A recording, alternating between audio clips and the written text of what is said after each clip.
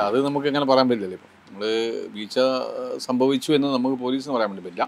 അതാണ് medical board ചികിത്സാ പിഴവുകൾ എന്തെങ്കിലും ഉണ്ടോ എന്ന് തീരുമാനിക്കേണ്ട അവരാണ് അപ്പോൾ അത് മെഡിക്കൽ ബോർഡിന് നമ്മൾ കൊടുത്തിട്ടുണ്ട്. അത് അവർ ആ ടൈമിൽ അവർ ബോർഡ് കൂടി ചികിത്സാ രേഖകളൊക്കെ പരിശോധിച്ച് അതിലുണ്ടോ ഇല്ല കാര്യങ്ങൾ നമുക്ക് റിപ്പോർട്ട് ചെയ്യും. അതിന് ശേഷം മാത്രമേ നമുക്കത് നട തുടർ നടപടി സ്വീകരിക്കാൻ പറ്റും.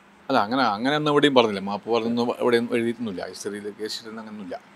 അല്ല അങ്ങനെ എഴുതുന്നില്ല അവരിങ്ങനെ അവർ ആരോപണമുണ്ട്. അങ്ങനെ പറഞ്ഞതിലാരുണ്ട് അതൊക്കെ ആരോപണമായിട്ട് നിൽക്കുന്നുണ്ട്. നമുക്ക് എത്രമാത്രം അത് നമുക്ക് ഈ കേസ് ഹിസ്റ്ററിയിൽ എന്താണ് നോക്കിയാൽ നമുക്ക് പറയാൻ വേണ്ടി പറ്റും.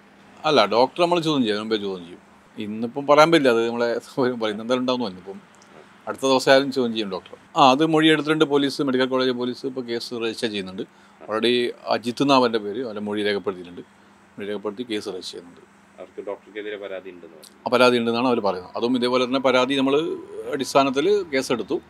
അതും ചികിത്സാ രേഖകളും മറ്റും പരിശോധിച്ച് മെഡിക്കൽ ബോർഡിൽ അതും ഹാജരാക്കി അവരുടെ റിപ്പോർട്ടിന്റെ അടിസ്ഥാനത്തിൽ ഡോക്ടർക്ക് എതിരെ എന്തെങ്കിലും നെഗ്ലിയൻസ് ഉണ്ടെങ്കിൽ നടപടി സ്വീകരിക്കുന്നതാണ്.